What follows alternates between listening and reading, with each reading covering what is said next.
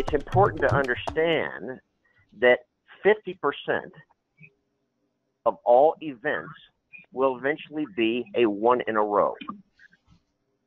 Not in every shoe, not in every half shoe, you know. But if you play enough shoes and you were to just put them all together, honestly, you would see what I'm talking about. The, the second part of this is, is that the two in a rows, the two in a rows will be 25% of all events. Three in a rows will be 12.5%. And everything four or more will add up to 12.5%. Okay, okay, so the whole the whole concept, uh, you know, was when I was, you know, as I've been playing 5D, I started realizing that, you know, I'm trying to play every element of it that I can.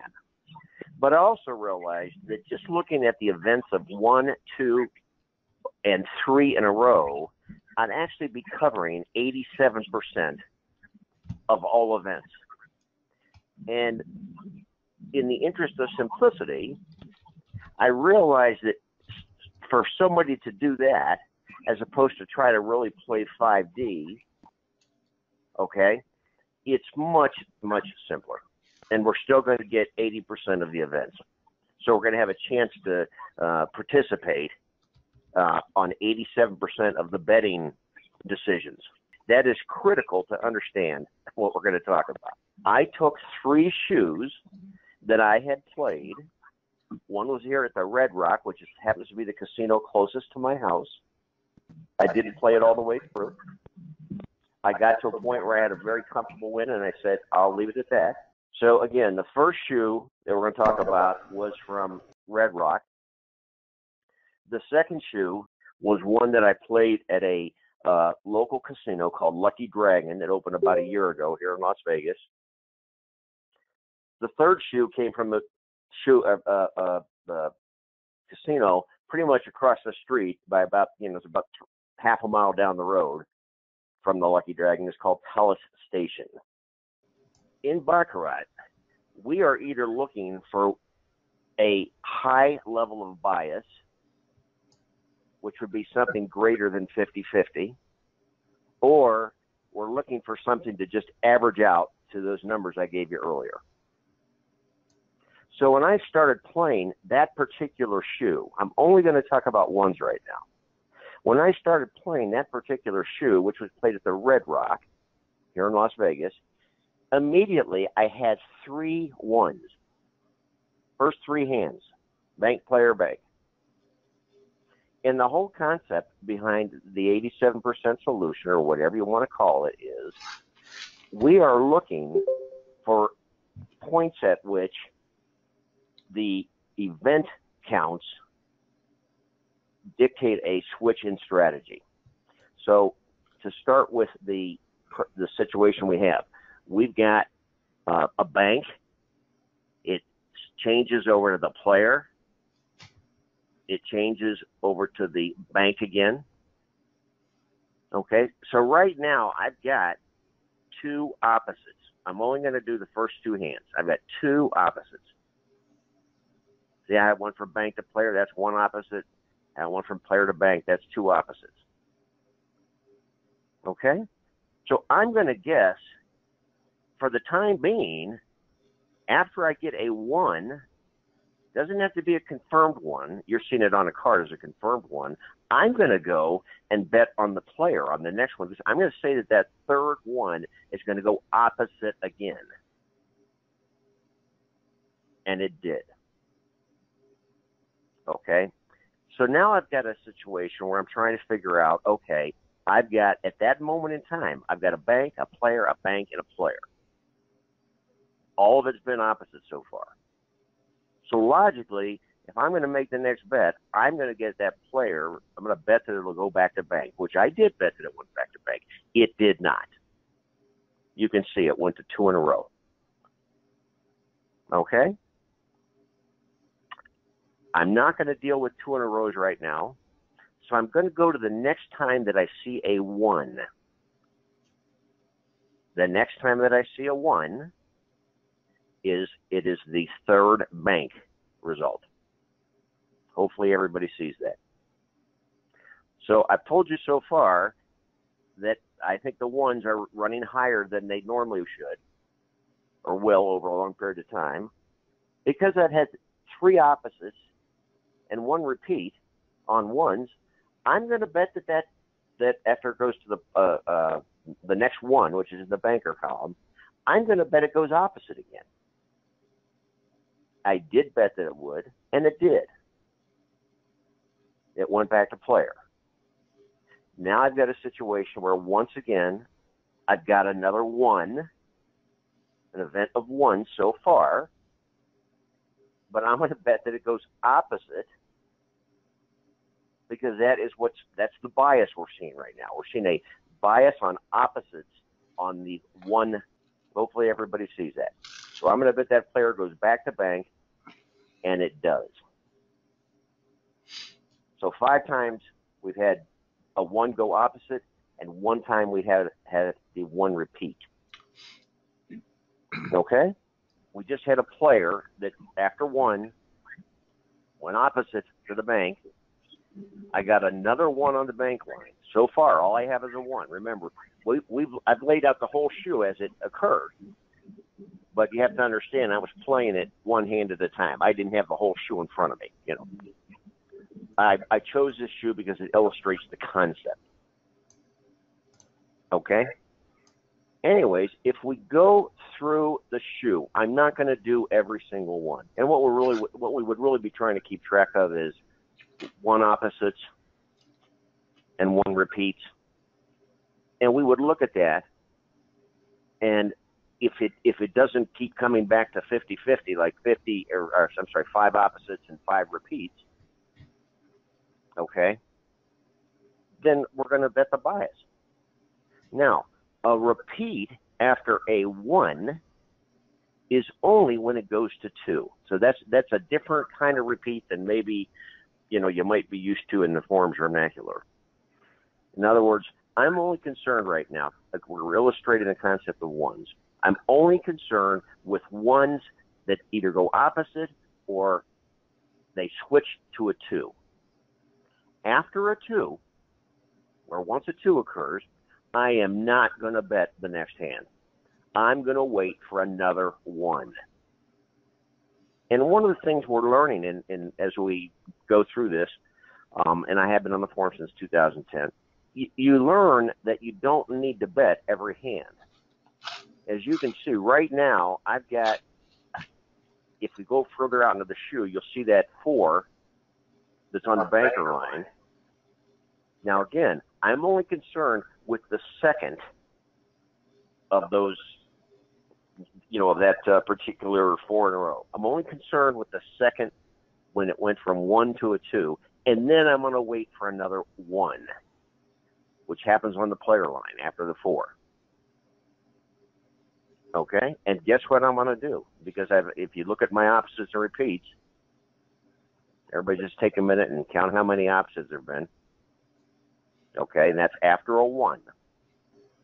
There have been eight opposites after a one. And there have been three repeats. So what do you think I'm going to do when I see another one down on the player? I'm going to bet that it's going to go opposite back to bank, and it does. Or did, I should say.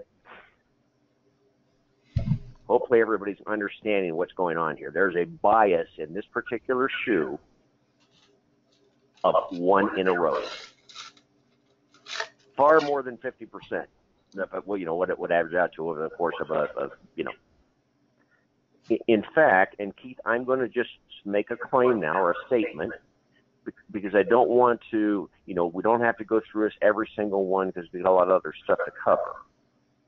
But when I stop playing this shoe, okay, and if you look towards the end of the shoe, you can probably guess when I stop playing it. If you look down towards the bottom, and remember, this was not a full shoe. If you look down towards the bottom, you'll see those two fours in a row. And then you'll see it, it does go back to one, and then you'll see a two. Once I started seeing that, uh, you know, as soon as it was, it was very choppy, so to speak, in the beginning. Once I started seeing the repeat happening, I stopped playing that shoe. I stopped playing it. Okay? Because again, it looked to me like the bias could be changing, and I didn't want to lose my momentum and how many units I had won at that point. In fact, if you count the number of ones, I believe it's 19. I think that's the number I came up with. It, the twos were seven in a row. I mean, uh, twos were uh, events of two were seven. Events of three, there there weren't events of three. They're all fours. Okay, and there were three of those, and there was no fives at least up to that point. So I had a total of 19 plus 7 plus 3. I had a total of 29 events. I told you before that the ones in a row in, a, in an average, you know, course of a shoe or shoes will be 50%. Well, my event count on ones in a row was 66%. 19 as compared to 29, which is the total number of events. So again, what I was doing, what I, with the reason I wanted to illustrate it for you this way, this is an actual shoe played uh, about a week ago. Um, but I made a decision to stop playing the shoe when I got into that little rough patch. And I think is I, know there's some you know some of our professional players are probably on the line and people from who knows all over the world. I don't know, but I think that anybody who plays baccarat long enough starts seeing this stuff in their sleep. I mean, literally. Now, I've been playing for almost 30 years. That is the truth. I'm 62 years old. Okay, and I learned to play in Macau, the old Macau. There's one casino. It took a long time for me to really even understand about the event counts. And candidly, if you tell some of your baccarat playing friends, a lot of them will look at you like, "What? What do you mean?" because they don't know. They don't know that's the actual true statement. It is true. Okay? So that's the ones. Now, I don't want to, uh, we're going to talk about twos in another shoe, but I want to show you something just so you realize had I played the twos, okay, again, I'd be looking for first I got a one, then I got another one, that's a two, and I'd start looking. Are those going opposite or are they going from two to three? I'm not concerned with anything past three. Are they going from two to three? Well, if you count them up, there's actually seven twos, there are no threes, and there's four or, or, three fours. So the fours had to go to three to get to a four. They had to go to a three first. I'm not concerned that they ended up being four though. So if I had chosen to, I could have been playing twos as well. So, to summarize, again, this is only to illustrate the concept of one in a rows being very something, something very important you want to look for in a shoe. 80% of the time, flat betting, um, people who play with me all the time realize that is the way I play.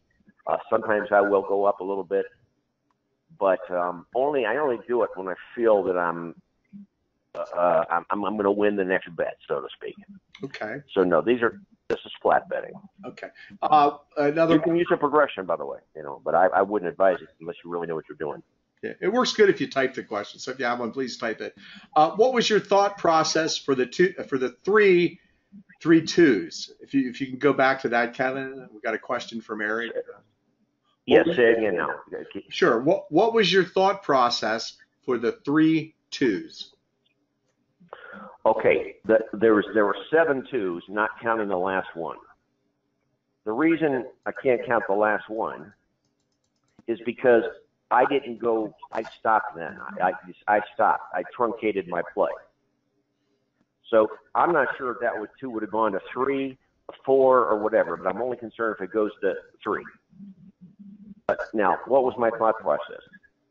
My thought process was that I was seeing so much good activity on the ones, okay, that I was only going to play ones in that particular shoe. Again, very important to uh, uh, learn the discipline of not trying to do too much at once. Yes, I could have played the twos. I I saw where the twos were at one point, and let's see, I'll count them roughly. Yeah, there's six twos, and there's only one thing that had gone to three. That goes back to bank, back in the beginning part of the shoe.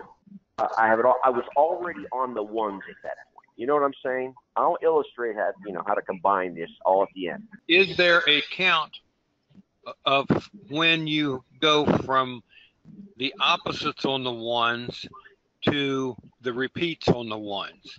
In other words, if you got three opposites and now you're getting into after the ones some repeats, how soon will you switch to betting on the repeat? I will uh, generally, uh, when as long as the disparity, in this case between ones and twos, because I really don't care about everything else. Okay, because all all threes have to start at two into a two, you know, et cetera, et cetera if the disparity gets down to two or less, two or less. So let's say it was, uh, I'm going to make this up. Let's say it was, uh, uh, uh, we had uh, 10 ones that went opposite, and all of a sudden we had eight. The repeat started catching up. We had eight. That's where I'm going to look very carefully about what's going on, and do I need to move to either something like OTBL. You know, again, I don't I don't play this just by itself. Be very honest with you, I'm trying to help you guys understand that this is like you know a screwdriver in your tool bag, but you got to have a hammer and nails and you know a, a wrench and everything else. This is just a simple way to pull out a few units out of a shoe and candidly, if I had in the beginning started out and it was like, you know, two opposites, three repeats, two opposites, another repeat, two, you know what I mean? I probably would have abandoned the whole idea of what I was doing because, you know, it just wasn't working the way I would like to see it work. The the difficult thing for me to uh, probably explain to you is that because I've got all this, not just what you're seeing, but on my card, I've got the total opposite and repeat counts. I've got the OTBL and TBL count. I've got the, if you go back three, um, it's called, we call it OO. If you go back three, we call it TT if it's on the same side. I've got all that. I've also got the numerical ending values of the decision. So like if the bank won seven to two, I've got that, I've got that information for the entire shoe on my card. That helps me see in 5D whether there's a SAP thing that I should be looking at or whether there's a MDB thing that might be occurring. So I'm really breaking out uh, uh, this element for you to illustrate you should be looking for these kind of things.